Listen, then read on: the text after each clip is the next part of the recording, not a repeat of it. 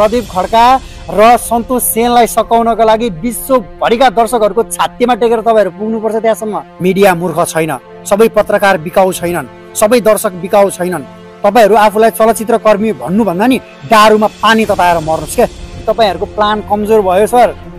तपाईँहरूले प्लान गर्नै जान्नु भएन। सायद दुःख लागिरहेको होला तपाईँहरूलाई प्लान फेल भयो भनेर होइन? बनाउनु सरको प्लान। दरिलो प्लान बनाउनुहोस्। जसले चाहिँ तपाईँ लगायत तपाईँको साथीहरूलाई बचाउन सकोस्। यदि मूर्खता गर्नुमा नै राम्रो ठान्नुहुन्छ भने तपाईँमा न नैतिकता छ न त मानवता नै। ती ध्वस्त बनाउन लागि परेका किराहरूलाई मेरो एउटा प्रश्न। तपाईँहरूलाई त गालीको तुच्छ भन्दा तुच्छ शब्द पनि कम पर्न जान्छ। जबरजस्ती दर्शकहरूलाई टिकट किनिदिएर जबरजस्ती दर्शकहरूलाई चाहिँ विरोध गर्न लगाएर पैसा खुवाएर पैसा दिएर चाहिँ बलिउड जस्तो इन्डस्ट्रीको फलामे तारले बाँधिएको विशाल ढोकालाई तोडेर आज त्यहाँको बाटो खोलेको छ नि। कतारबाट यो भिडियोहरू तपाईँहरू समक्ष राखिरहेको छु। मैले कतारमा बसेर कस्तो भिडियो बनाउँदाखेरि हुन्छ के कुरालाई समेट्दाखेरि राम्रो हुन्छ तपाईँहरू के कुरा हेर्न चाहनुहुन्छ कतारबाट कृपया कमेन्ट गर्नुहोला। देश तथा विदेशबाट थ्री एम खबर हेरेर बसिराख्नु भएको सम्पूर्ण दर्शकबिनहरूमा नमस्कार। म विकल्प श्रेष्ठ अर्को एउटा नयाँ भिडियोको साथमा उपस्थित भएको छु। दर्शकबिनहरू तपाईँहरूले धेरै माया दिइराख्नु भएको छ। मैले हालिरहेको भिडियोहरूलाई जसरी नेपालमा हुँदाखेरि माया गर्नु भएको छ त्यसरी नै माया गरिराख्नु भएको छ। यही माया सधैँ बनाइराख्नु होला। तपाईँहरूको लागि म नयाँ नयाँ भिडियो नयाँ नयाँ कुराहरू लिएर आइराख्नेछु र दर्शकबिन आज पनि एउटा दुःखद अनि अचम्म लाग्दो कुराहरू छन् होइन? जुन प्रेम गीतको बारेमा अहिले चलिरहेको छ।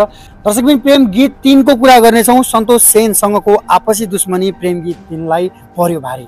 जबरजस्ती दर्शकहरूलाई टिकट किनिदिएर जबरजस्ती दर्शकहरूलाई चाहिँ विरोध गर्न लगाएर पैसा खुवाएर पैसा दिएर चाहिँ होइन हलबाट पैसा हल्लाउँदै चाहिँ फिल्म पनि हेर्न पाइयो पैसा पनि पाइयो भन्दै चाहिँ रिभ्यूमा आउने दर्शकबिनहरूको अहिले भिडियो भाइरल भइरहेको छ। र यसले के पनि देखाउँछ भने तपाईँहरूको प्लान कमजोर भयो सर। तपाईँहरूले प्लान गर्नै जान्नु भएन। प्रदीप खड्का र सन्तोष सेनलाई सकाउनको लागि विश्वभरिका दर्शकहरूको छातीमा टेकेर तपाईँहरू पुग्नुपर्छ त्यहाँसम्म। सजिलो छैन अब। त्यस कारणले गर्दाखेरि तपाईँहरूको जुन प्लान थियो नि फेल भइसक्यो। प्लान सक्सेस भएन। सायद दुःख लागिरहेको होला तपाईँहरूलाई प्लान फेल भयो भनेर होइन? बनाउनु सरको प्लान दरिलो प्लान बनाउनुहोस्। जसले चाहिँ तपाईँ लगायत तपाईँको साथीहरूलाई बचाउन सकोस्। सजिलो छैन। जसले चाहिँ बलिउड जस्तो इन्डस्ट्रीको फलामे तारले बाँधिएको विशाल ढोकालाई तोडेर आज त्यहाँको बाटो खोलेको छ नि ती व्यक्तिलाई खसाउन र ती व्यक्तिको खुट्टा तान्न सजिलो छैन। चलचित्र कर्मीहरू नै हुन्। ज जसले खुट्टा तानिरहेको छ जसले पैसा खुवाएर टिकट किनेर जसले चाहिँ पैसा दिएर चाहिँ आज विरोध गर्न लगाइरहेका छन् नि चलचित्र कर्मीहरू नै हुन्। तपाईँहरू आफूलाई चलचित्र कर्मी भन्नुभन्दा नि दारूमा पानी तताएर मर्नुहोस् क्या बुझ्नुभयो? तपाईँहरू चलचित्र कर्मी होइन। एउटा चलचित्र कर्मीले अर्को चलचित्र कर्मीको मर्म बुझ्छ र त्यसले गरेको कामको रिस्पेक्ट गर्छ सम्मान गर्छ। तर तपाईँहरू छि! तपाईँहरूलाई त गालीको तुच्छ भन्दा तुच्छ शब्द पनि कम पर्न जान्छ। बुझ्नुभयो नि? दर्शकबिन सिनेपाटीको एउटा लेख एकदमै इन्ट्रेस्टिङ रहेको छ र यो सोच्नुपर्ने विषय पनि हो तपाईँ हामीले। तपाईँ हामी सम्पूर्ण जानकार भएका दर्शकबिनहरूले ज जसले चाहिँ बुझ्नुहुन्छ जो जो चाहिँ सच्चा दर्शकहरू हुनुहुन्छ ज जसले चाहिँ प्रेम गीतलाई माया गर्नुहुन्छ जो चाहिँ साँच्चैकै दर्शक हो उहाँहरूको लागि यो भिडियो। बुझ्नुपर्छ तपाईँहरूले। यदि यो न्युज पढ्नु भएको छैन भने मेरो च्यानलमा रहनु भएको दर्शकबिनहरू र जसले हेरिराख्नु भएको छ उहाँहरूको जानकारीको लागि मैले यो भिडियो बनाइरहेको छु। दर्शकबिन म तपाईँहरूलाई यसको पूर्ण पाठ पढेर सुनाउनेछु। रिलिज अगावै विवादमा तानिएको फिल्म प्रेम गीत तिन।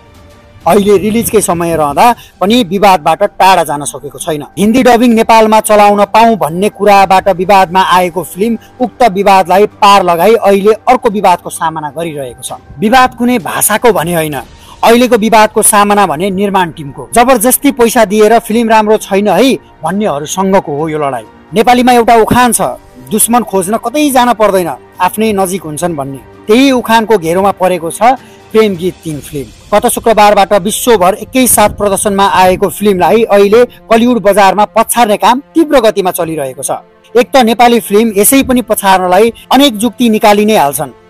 फिल्मलाई पछाड्ने काम फिल्म क्षेत्रभित्रै केही गिरोहहरूले गरिरहेका छन्। नामै चलेका निर्माता निर्देशक नायिका नायक र पत्रकारसम्मले अहिले फिल्मलाई थाङ्नामै सुताउनुपर्छ है भन्ने धारणा बोकेर बसिरहेका छन्। नामै तोकेर भन्यो भने हाम्रा देशका गहना र कलम चलाउने पत्रकारलाई यो कुरा अपाच्य हुन सक्छ। एकअर्कासँगको दुश्मनी लिएर आफूले सो धारणा बोक्नुभयो ठिकै छ। तर यतिसम्मको निच र गिरेको काम पनि देखाइयो फिल्म हेर्न आएका सोझा दर्शकलाई समेत पैसाले किनेर पत्रकार समक्ष जबरजस्ती नकारात्मक प्रतिक्रिया दिन घचेडी घचेडी पठाएको। ती भिडियोहरू सामाजिक सञ्जाल टिकटकमा निकै भाइरल भइरहेको छ। एक भिडियोमा यति समेत देखियो कि एउटा दर्शकले प्रेम गीत तिन हेरियो हातमा पैसा हल्लाएर पैसा नि पाइयो समेत भनेका छन्। भाइरल पनि यसरी भइरहेको छ कि ती भिडियोहरू हेर्दा पनि आफैमा लाज मर्दो देखिन्छ। किनभने त्यही फिल्मले बलिउडमा वाह वाही पाइरहेको छ भने ट्यास। सार्वजनिक भिडियोमा फरक बजारका फरक दर्शकहरूले फरक प्रतिक्रिया दिइरहेका छन्। हामीले सबै निर्माता निर्देशक नायक नायिका पत्रकारहरूलाई भनेका भने होइनौँ है। भित्रभित्रै नेपाली फिल्म बजारलाई खोक्रो बनाउन लागि परेका केही व्यक्तिहरूलाई भनेका हौँ जसले नेपाली बजारलाई ध्वस्त बनाउन हिँडिरहेका छन्। ती ध्वस्त बनाउन लागि परेका किराहरूलाई मेरो एउटा प्रश्न एउटा नेपाली फिल्मले विश्व बजारमा गएर अन्य फिल्महरूसँग प्रतिस्पर्धा गर्नु राम्रो होइन? अहिलेसम्म कसैले गर्न नसकेको काम कोहीले गर्न खोज्दैछ भने गर्न दिनुहोस्। भोलि हाम्रै बजारको माग बढ्ने हो। एक अर्काको खुट्टा तानेर अरूलाई गिराएर नेपाली फिल्म बजारमा एक्लै राज गर्छु भनेर सोच्नुहुन्छ भने त्यो तपाईँको मूर्खता हो। यदि मूर्खता गर्नुमा नै राम्रो ठान्नुहुन्छ भने तपाईँमा न नैतिकता छ न त मानवता नै। र दर्शकबिन प्रेम गीत तिनलाई सकाउन खोज्ने गिरोहहरूको सत्य तथ्य समाचार हो यो। आज जुन सिने पार्टीले लेखेको लेख छ वास्तवमै यो कुरामा सत्यता छ। तपाईँहरूले जुन पैसा खुवाएर गरिराख्नु भएको छ नि लाज मर्दो काम गरिराख्नु भएको छ नि तपाईँहरूले। यो गर्न छोड्नुहोस् तपाईँहरू अब। मिडिया मूर्ख छैन। सबै पत्रकार बिकाउ छैनन्। सबै दर्शक बिकाउ छैनन्। बुझ्नुभयो? त्यो कारणले गर्दाखेरि आज दर्शकबिन मैले यो भिडियोमा सिने पार्टीले लेखेको लेखलाई वास्तविक समाचारलाई मैले प्रेम गीत तिन सम्बन्धी समाचारलाई चाहिँ मैले यो भिडियोमा समेटेँ। किनभने मेरो च्यानलमा धेरै दर्शकबिनहरू जोडिनु भएको छ नेपाली दर्शकबिनहरू जोडिनु भएको छ जसले प्रेम गीत तिनलाई माया गर्नुहुन्छ। उहाँहरूसम्म गलत समाचार नजाओस् जसले प्रेम गीत तिन हेर्न जान्छु भनेर सोचिराख्नु भएको छ जसले चाहिँ कन्सेप्ट बनाइराख्नु भएको छ जसले चाहिँ टिकट लिने सोचिराख्नु भएको छ उहाँहरूको दिमागमा गलत समाचार नजाओस् गलत कुरा नजाओस्। राम्रो चलचित्रले चल्नुपर्छ राम्रो चलचित्रले चाहिँ व्यापार गर्नुपर्छ राम्रो चलचित्र नेपाली दर्शकबिनहरूले हेर्न पाउनुपर्छ भन्ने उद्देश्य यो भिडियोको रहेको थियो। तपाईँहरूलाई यो भिडियो कस्तो लाग्यो? र भिडियोलाई सेयर गरेर ती गिरोहरूसम्म पुगाइदिनु होला जसले प्रेम गीत तिनलाई सिद्धाउन खोजेका छन्। दर्शकबिन अर्को भिडियोमा भेट्ने बाजाको साथमा यो भिडियोबाट म विकल्प श्रेष्ठ बिदा माग्न चाहन्छु।